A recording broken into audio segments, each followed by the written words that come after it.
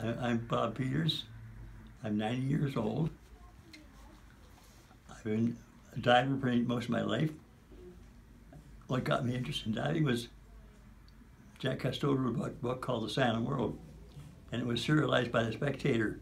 They put a chapter every night into the paper, and I'd be waiting on this on the on the steps for the paper boy to come, and I'd read it, and eventually he got me going.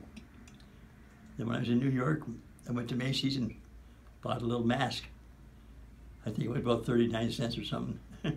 and uh, it was just a straight rubber with just, there's no band on it, just rubber with a plastic lens and a pair of very short fins with a strap. There was no snorkels on the market by then, so I just had the fins and the mask.